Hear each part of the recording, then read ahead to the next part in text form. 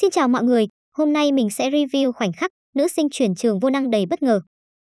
Đây là một học viện tập hợp những con người có siêu năng lực đặc biệt. Người thì có thể triệu hồi được lửa, đốt cháy mọi thứ. Người thì có thể điều khiển được băng, đông cứng mọi vật. Ai cũng có một siêu năng lực cho riêng mình, nhưng chàng trai này thì lại khác. Anh chưa thức tỉnh được khả năng của mình nên luôn bị các bạn chê cười và bắt nạt. Hôm nay, lớp chào đón một học sinh mới. Cô gái này tên là Nana. Có dáng người nhỏ nhắn cùng mái tóc màu hồng trông vô cùng dễ thương. Cô tiết lộ rằng mình có năng lực đọc suy nghĩ của người khác. Nana được xếp ngồi cạnh anh chàng vô năng của chúng ta. Cô luôn đến bắt chuyện với anh, cảm thông cho câu chuyện của anh. Đã vậy cô còn bật lại mọi người để bảo vệ anh. Lúc này thầy giáo bảo cả lớp hãy chọn ra một lớp trưởng. Tự tin trước năng lực của mình nên ai cũng xung phong nhận chức vụ này. Điều này một lần nữa khiến anh tự ti vô cùng. Nana liền đứng lên biểu quyết cho anh. Các bạn ngay lập tức từ chối vì anh yếu như sen. Nhưng để cho công bằng nên cả lớp sẽ quyết đấu với nhau, người thắng sẽ được làm lớp trưởng. Sau khi tan học, Nana cứ quấn quýt bên anh, cho anh những kỷ niệm mà một người cô đơn xa lánh không bao giờ có được.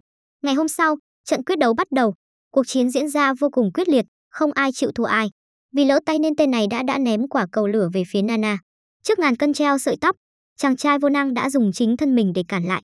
Quả cầu lửa bị vô hiệu hóa ngay lập tức. Trong tình huống nguy cấp nhất anh đã thức tỉnh kỹ năng vô hiệu hóa năng lực của người khác. Mọi người ai nấy đều vui mừng và cậu trở thành lớp trưởng của lớp. Đến buổi chiều, cả hai cùng nhau ra vách đá trò chuyện ăn mừng. Anh bày tỏ lòng biết ơn đến Nana vì cô là một phần trong việc đánh thức năng lực, còn cô thì bật khóc vì đã giúp anh thoát khỏi sự cô đơn.